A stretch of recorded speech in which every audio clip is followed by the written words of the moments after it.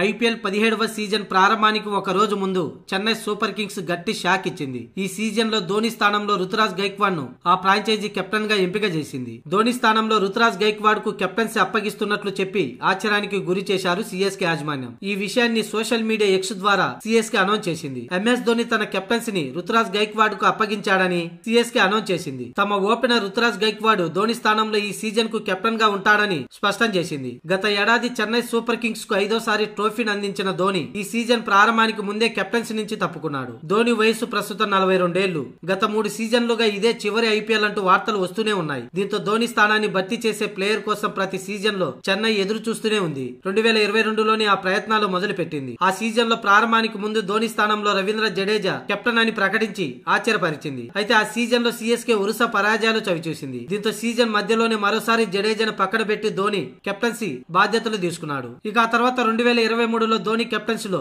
CSK ఐదవ title చేజిక్కించుకుంది. అదే సమయంలో మోకాలి గాయమైంది ధోనికి. దీంతో ధోనికి ఇదే చివరి ఐపీఎల్ సీజన్ కాబోతుందనేది. అందుకే కెప్టెన్సీ మార్పు ద్వారా మరోసారి స్పష్టమైంది. ధోని జట్టులో ఉన్నప్పుడే మరొకరికి కెప్టెన్సీ అప్పగించడం ద్వారా యువ ఆటగాడు కెప్టెన్గా రాటుదేలుతాడన్నది సిఎస్కే ఆలోచనగా కనిపిస్తుంది.